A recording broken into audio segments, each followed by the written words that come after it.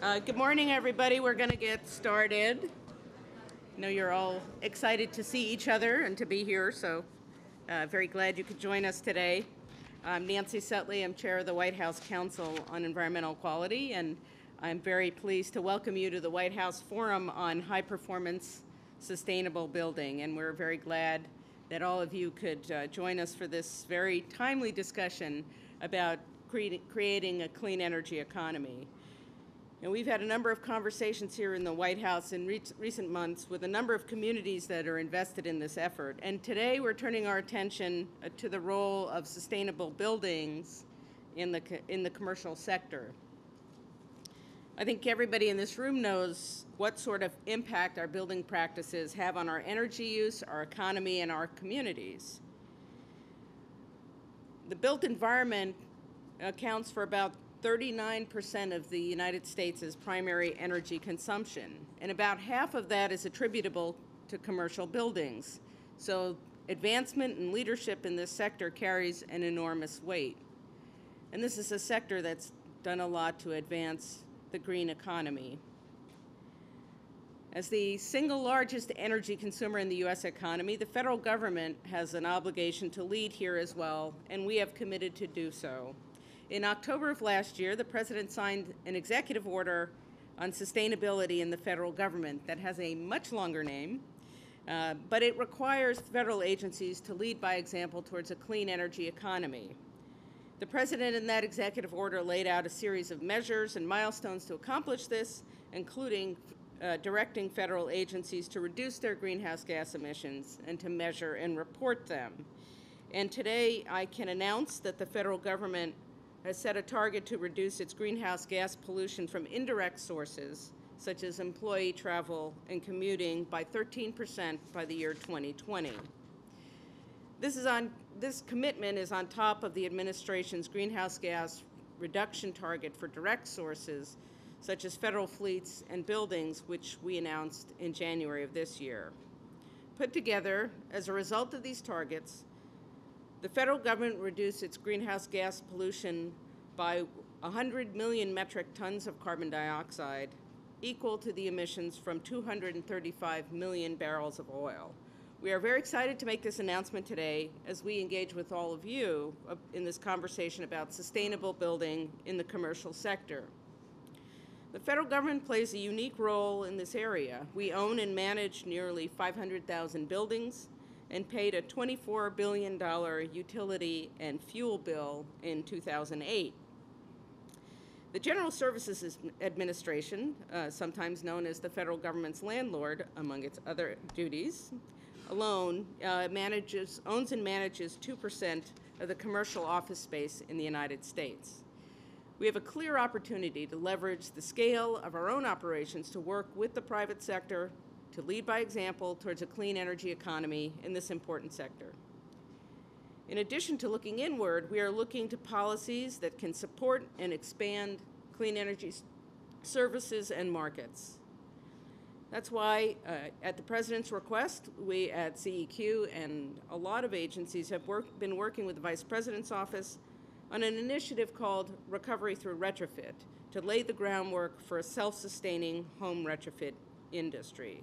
Last fall, we made our recommendations for stimulating the home retrofit market and for overcoming challenges like lack of financing, a shortage of skilled workers, and a lack of easy access to information for homeowners. And we are on track to implement these recommendations by the fall. And through the Recovery Act, we made, we've made a historic $90 billion investment in renewable energy and energy efficiency that is putting this country on the right path for the future. And so in the federal government, we're doing our part uh, to lay a foundation for a robust clean energy economy. But we need to do more. We need comprehensive clean energy and climate legislation to foster and reward innovation, to safeguard our planet, and to ensure that we can compete and win in the 21st century global economy. As the President said, we have to make clean energy the profitable kind of energy for America's businesses. Today we'll be talking about how sustainable planning fits into this effort and delving into three key opportunities and challenges. Uh, first, we'll discuss how the federal government can seize this moment and lead by example, and what we can learn from the private sector and from state and local government. Now, in my former life as a deputy mayor in Los Angeles, uh, the city of Los Angeles, like many cities across the country, had adopted green building standards for its own buildings. And uh, in my time there, we built uh, very energy efficient, very green libraries and animal shelters, um, and even at fire stations and fire training centers, and even the brand new police administration building. So we'll also talk about financing opportunities and promoting and supporting innovation in this area. Because ultimately, supporting sustainable buildings is not just an opportunity for energy savings, it's an opportunity for cost savings, and it's an opportunity to promote livable communities and improve our quality of life.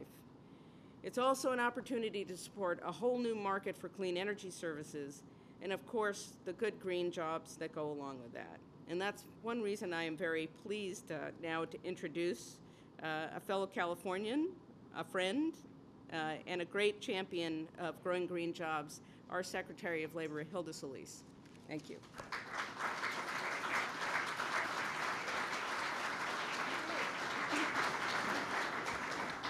Thank you. Uh, good morning and buenos dias. this is a this is a light crowd here.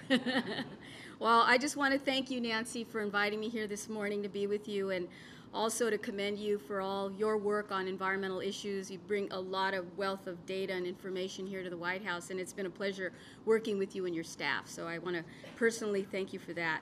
Um, for decades, as you know, it's been clear uh, that the way Americans produce and consume energy is not sustainable. Our addiction to foreign oil and fossil fuels puts our economy, our national security, and our environment at risk. To take this country in a new direction, the President is working with Congress to pass comprehensive energy and climate legislation to protect our nation from the serious economic and strategic risks associated with our reliance on foreign oil to create jobs and to cut down on the carbon that contributes to the destabilizing effects of climate change. The President has already made great strides toward changing our energy future. The Recovery Act constituted unprecedented historic investments in clean energy, investments in the development of renewable energy and clean technologies that will lead us into a better and cleaner future. Investments in high-speed rail, as an example, advanced car batteries that will lead to transportation systems that are cleaner, investments in a smart electric grid system, energy efficient homes, offices, appliances that will reduce our overall energy consumption as a nation.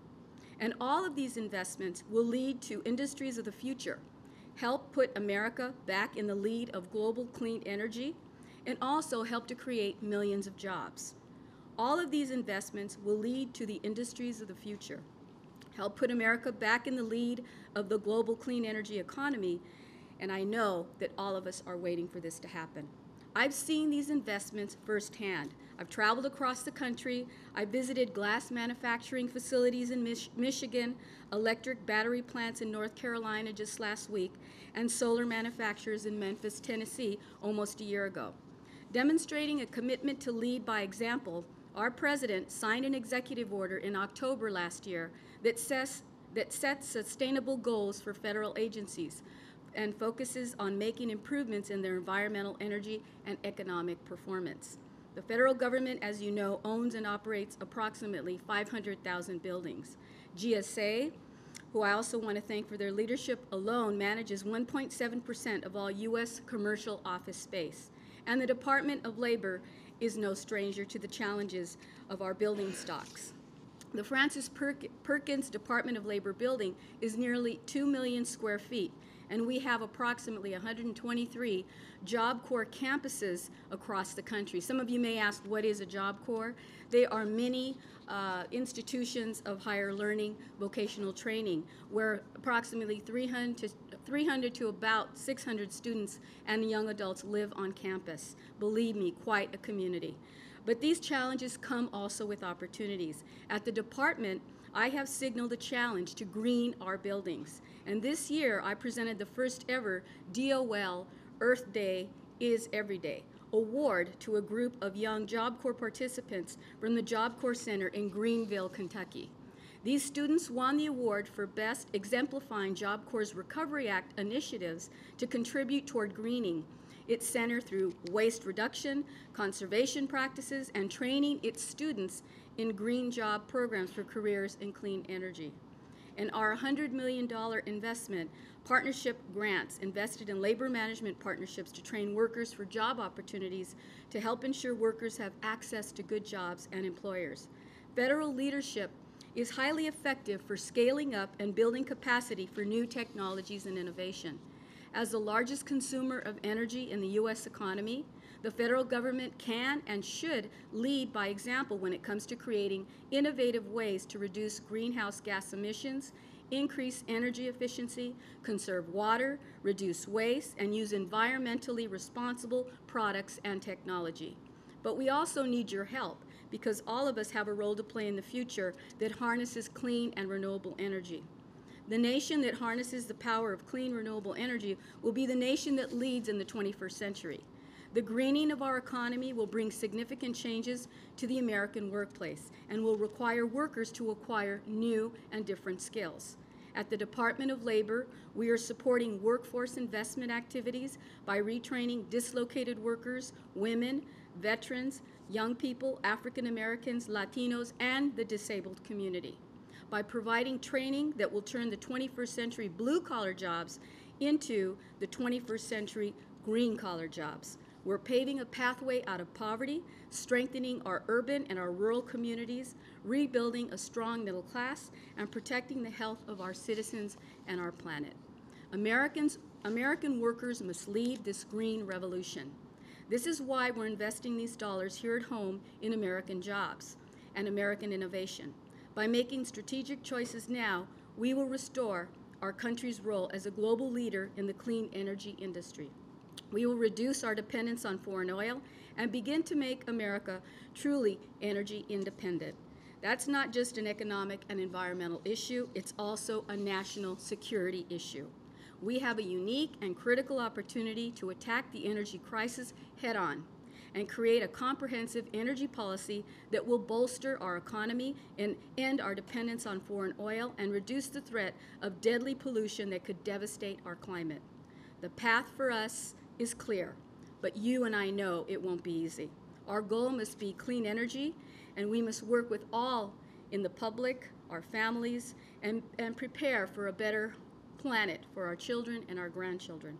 I briefly want to defer from my notes and just tell you that personally, as a cabinet member serving in the Department of Labor, I've had the privilege of helping to implement programs for job training. So I would like to challenge the business community that is here if you're interested in working with the Department of Labor, if you are looking for a ready, uh, trained workforce to begin to expand in your own businesses, please give us a call at the Department of Labor. We have many opportunities where we can partner with you, community colleges, uh, CBOs, but more importantly, try to assess what your needs are and to make that happen. Uh, the, these investments will go on for several years, and we want to make sure that everybody takes full full opportunity and access of what uh, we've been able to do through the Recovery Act. So again, I thank you, Nancy. I thank all of you for uh, being here. I appreciate the opportunity, and let's move forward. Thank you. Thank you.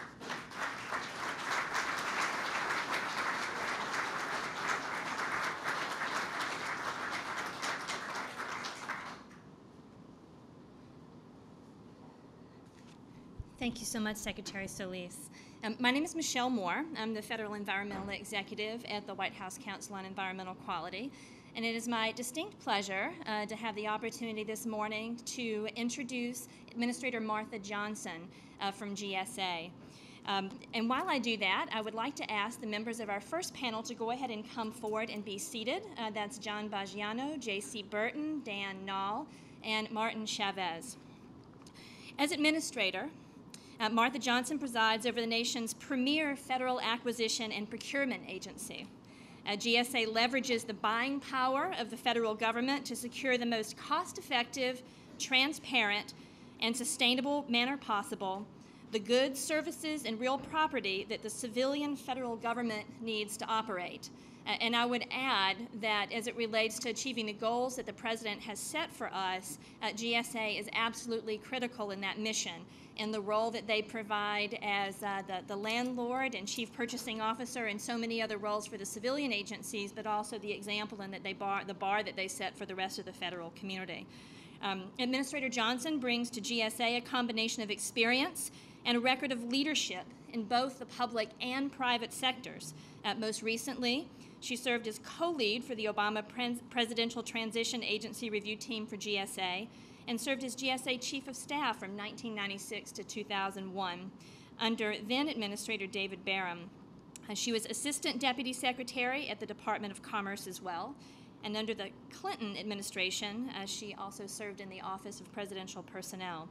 But since 2007, Administrator Johnson has served as Vice President of Culture at Computer Sciences Corporation, uh, where she helped to direct a change in corporate culture within the 90,000 person organization. Uh, previously, she was vice president at SRA International, managing a strategic consulting group that served federal clients. Administrator Johnson, it's my pleasure to cede the podium to you. Thank you.